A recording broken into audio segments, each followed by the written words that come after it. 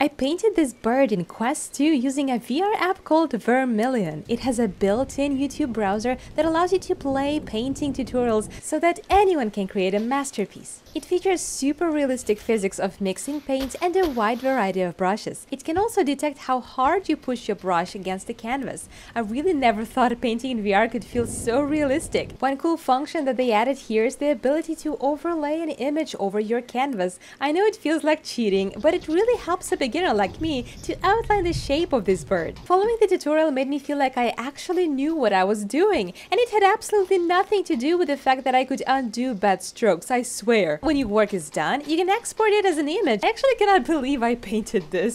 Last thing left to do is sign my masterpiece, Disco VR made this, yeah. Since I'm such a pro now, drop me a comment below and let me know what you want me to paint in Vermillion. The Disco VR art shop is taking orders.